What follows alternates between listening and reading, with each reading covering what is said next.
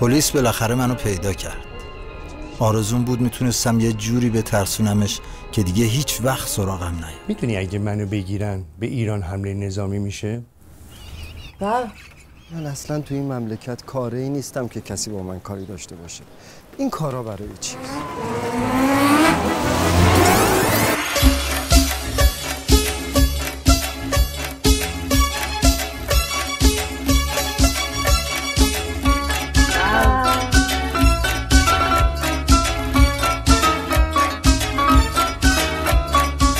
ببین منو.